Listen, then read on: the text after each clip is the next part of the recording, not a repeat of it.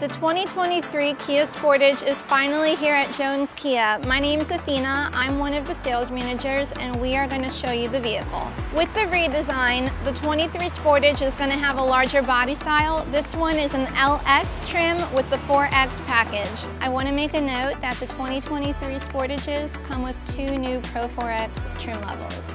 Welcome to the interior. In the redesign, the 4X package is going to have heated seats, and this will be fully digital, including wireless Apple CarPlay, a charging station, four different drive modes of normal, sport, smart, and snow. Let's check out the backup camera. One of the coolest upgrades is these cup holders. I also love these upgraded finishes. Now that you've seen it in person, give us a call here at Jones Kia and we'll be happy to help you.